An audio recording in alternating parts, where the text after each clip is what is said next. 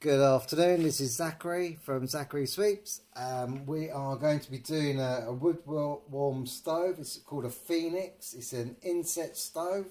Um, basically, it is one that you can fit into the appliance. Um, I'll start again. You can fit it into um, your, your normal fireplace, whether it's a brick one or a, a sandstone one or a cast iron one, whatever, whatever type of appliance you've got uh, fire surround, should I say. Um, you can fit them straight into it, um, and, and, that's what customers like to do. They like to have the inset stoves. Um, they still have, they probably have more vents on them, the inset stoves, than they do the, the, the normal wood burning stoves, because obviously you, you, don't get the heat from the sides and the top. Um, so they have like vents here, and they have vents all over the place on them, which uh, uh, you know counterbalances uh, the, the, the heat that you would lose if it was a freestanding appliance.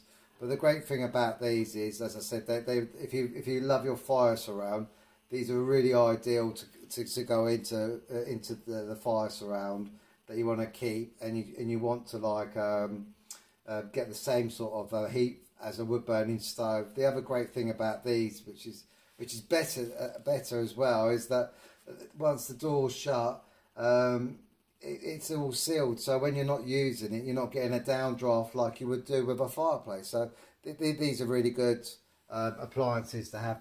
Wood warmer are very good um, uh, wood burning stoves to have. We've just got to take these bits out first. Everything comes out. This is a multi-fuel stove. Has the the movable grate. Um, just look, basically just like the one we just done just a minute ago to be fair. Um, that, that sort of uh, metal grate. And then these come out very easy. Just be very gentle when you're taking them out. Normally you could just leave the top one in in position. And then I'll just put that behind behind where I'm working. And then what I do is I grab this side like this. And then I, and then I put that one I'll put that on top of that the other one. And, and then you, I can see there's a few hairline fractures on it but I'll show you them in a minute it's not an it's not an issue or anything. And then, and then we take this out.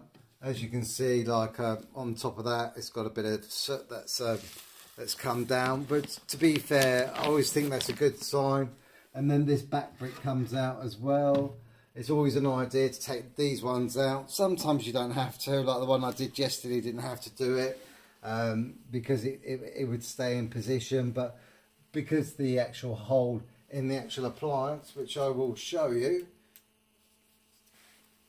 I'll just put my torch in position so you can see it. So I'm going to turn you upside down and around. So like, so you can have a look. So like, as you can see, uh, there is the actual liner because it's right at the back of the appliance. Let's go back round.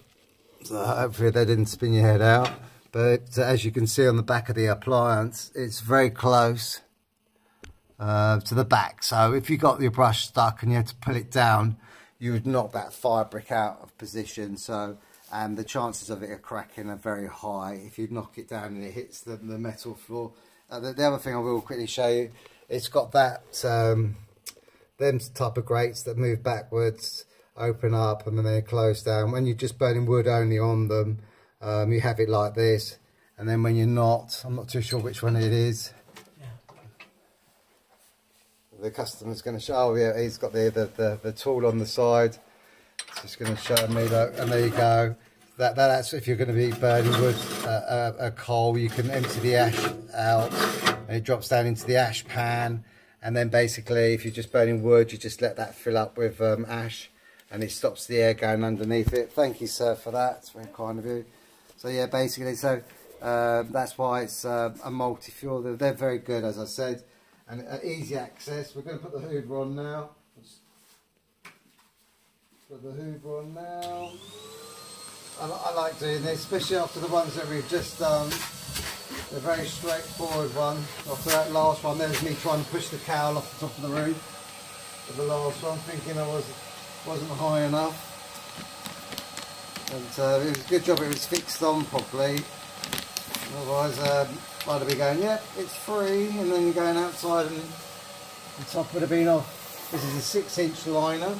So basically we put that brush like that, and then obviously we get, as you as you know, I normally wear my mask, but it's a bit muggy at the moment, so what we're gonna, I'm just putting my t-shirt over my face at the moment.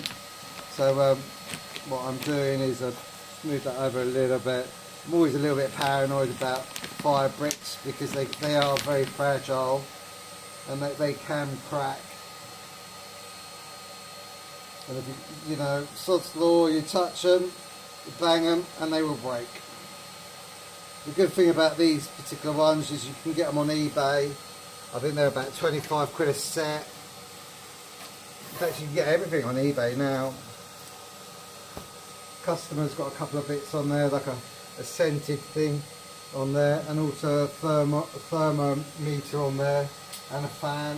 The thermometer can only go there so like, I know we talk about that they should be higher above the appliance, but they can. That's the only place they can go on these.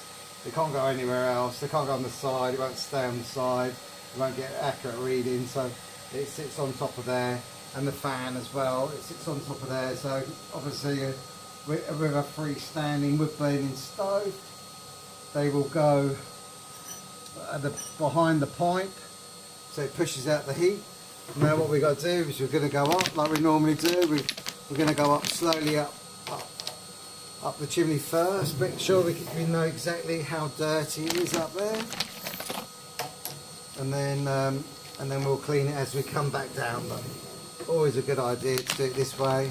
As I always say, it's, you know, a lot of people they just go straight up and down three to six times if it needs it that is. And then and then um, they start cleaning it as they're going up. But I, I never do that. I've, I've, never done that in the 24 years of working because I don't know how dirty the appliances and, and the way my sheet's set up I might have to tape it up you know um, you know I might have to make it more secure so if I go up slowly it, allows me to work out just how dirty the actual uh, liner is. So it's a way much better idea doing it this way. And then if you if it is dirty and you need to go quite a lot and there's soot coming down then you can seal all this up and then brush it up and down from the from the top to the bottom. But um, this chimney's in excellent order. The customer burns very good wood so there's no issues here at all with this so we're just going to go up I think we're nearly at the top now as you, as you always know um, when we get to the red red rods. That means we're getting to the top. All we're listening for now is that donk. There it is. Just a little, little donk. You probably wouldn't have heard it because the hoovers on, but we're at the top now. So what I do is, uh, because there's not much um, of this rod that's gone up there, we'll start with the next rod and then we'll go up and down with this one the great thing about line and line chimneys is they're not they're not like um, open fires. The, the brush is if the brush is the same size, it doesn't spring in and close up, spring in and close up. So, so there's not much up here at all. To be fair, customer gets it done every year.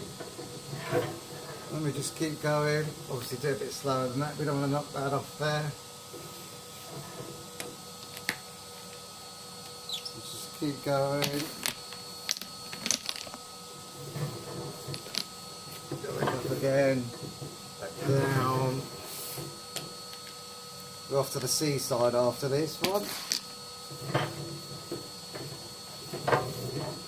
Pretty, pretty knackered today, but I don't think it's from work. I just think it's more because it's quite muggy and affects your sleep. Feel like you've had about two hours sleep. But you know, us us English, we love to complain about the weather, so wouldn't be right if we didn't. So I think this is the last one. Oh no, one more.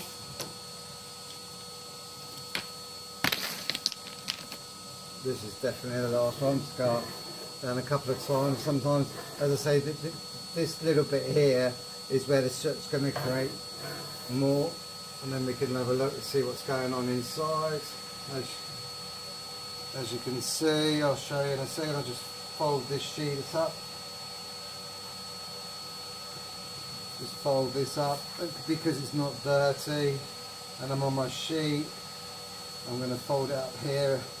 Obviously, if it's dirty, just screw it up and put it into your, into your box and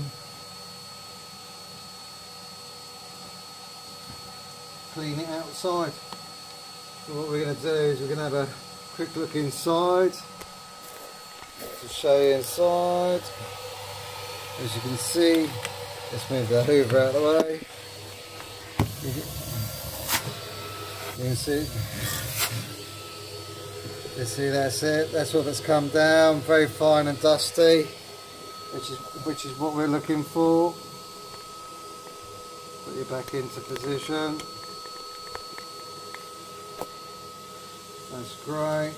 like I was saying with it, with, with the rod and the brush being so far back, is always a good idea because like, did you see that, the way that come down like that, right at the back of the appliance, if that, that fire brick was in, in there, then it could have knocked it forward. And, and as I said, they're very unforgiving. They're, they're so light that they will, they will crack. And then what we do is we just clean the top of it like that, all round. Make sure it's all nice and clean before we put the bricks back in. And then, then we get the hoover. Uh, just clean the, the, rubbish in front of me first, because we don't want that to go into the carpet. Just a little bit on top of that baffle plate, so I'm just going to hoover that up. And then hoover it inside, hoover the holes, where the vents are back. So it's all nice and clean. Around the, the entrance to the pipe. But as you can see it's very fine and dusty. This is a great sign. What we'll do is we'll people swear by wood warms stoves, they love them I think they're, uh, to be fair, I think they're like one of the most popular stoves out there. Well, uh, I'm, only, I'm saying that through comments that I've had on my page about wood, wood warm stoves. And then what we'll do, sometimes when you can't get the, um, the, the brush, when you can't get the hose in, into the appliance, what you need to do is you just get your get your shovel, bend it down, and then just go in there like. And then look. I don't know if you can see that. And then just do that, get all the stuff out.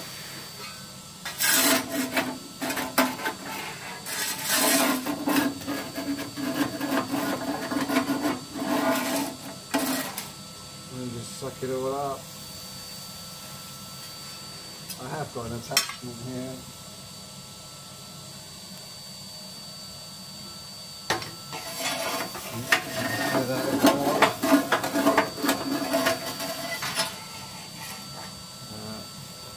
attachment and have a look. Make sure you get it all out. It's got a mechanism on the on the other side. That's it. What we'll do, I've not finished with it yet, I just want to see, see if anything else comes out with it. So, no, just a little bit of, um, as you can see that, just a tiny little bit of ash on there. Uh, take that off. And hoover that. And make sure this tray is all nice and clean. I'll put that back into position. See these that these these stick out. It's not an issue. That's how they're meant to be. So don't think that it has to be right flush against it. Because on the as you can see, there's there's a place where it goes because that gasket right that goes around there and around there. So um, if you think that you haven't got it in properly, yeah, Well, and then what we'll do is we'll put the back one back in first. We'll just give it a bit of a hoover. The back bit's it's looking all alright. Can't see any issues with that at all. Always a good idea, just have a, you can see a few little hairline fractures there, like along there as well, but that, that's no issue. And with these ones, um, because of the way they shape, they're uh, obviously they've got that, that sort of um, angle there. They can only go in at a, a certain place. So obviously they've got to go up higher, like that, because they've got to be. See the holes there. They've got to be flush with the holes at the top. So that's got to go in like that. Just lean that forward, I think, for the time being. And then we get one of these ones and this has got a few hairline fractures in it as well so it's it's not an issue they do go after I can see it, it's gonna it's gonna break so if you can see that along there it's not an issue it's just they go after a while but as I said eBay sell them so don't don't worry if it, if it does happen to you just go on eBay these, these are great as I said uh, this baffle plate uh, it's not just just the brick. It's actually got a, a metal plate that's been made up to go on top, as you can see the bolts. So it's, uh, it's there to, to make sure that it's all safe and secure. So of course you, you put this bit in there like that. Leave it as it is like that. And we get the next one. Just be very careful with them because if you drop them now, look, there's another hairline fracture in this one. It's not too bad on this side, hasn't gone through yet. And then you can like put them into position. Just leave that one at an angle like that, and then put this one right at the back, and then put this one into position like that. And then you can do put this one into position then. Here. With that make sure you put all three of them in first and then there you go it's done and then what you do is like, I hoover myself up because the reason why I keep hoovering myself up is because if I stand up and then and I've got ash on me I'm gonna I'm gonna end up putting it on the carpet so it's always important that you make sure you're all clean you don't want to do a good job and then all of a sudden these ones are a bit different with the, with the little fence that they have on the front of them. They have these. They're very self-explanatory how they go. So you put them, put them back into position.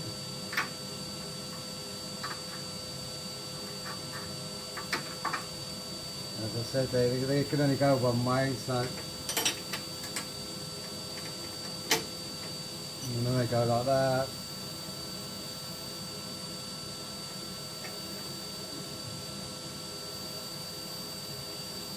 through the hole, that one. Um,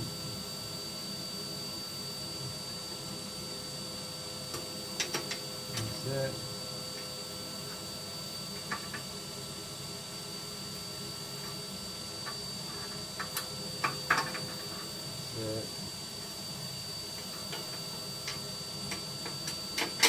That's it. And then what you do is you get the, the pipe, the bar, take this middle one uh, over like that. That's alright, no, it's right, it's fine. That's it.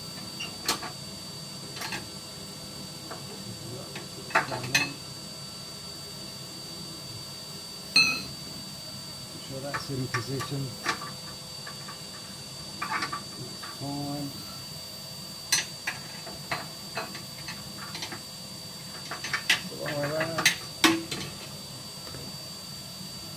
Oh, don't worry about it, sir. It's no problem. I can sort it. Yeah, that's fine. Leave it with me. I'll sort it. It's fine. Thank you.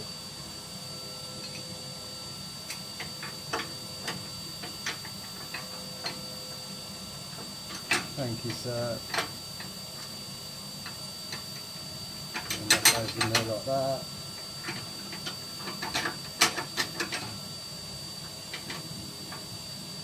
That bit that goes on top of there like that. That's it. And there we have it.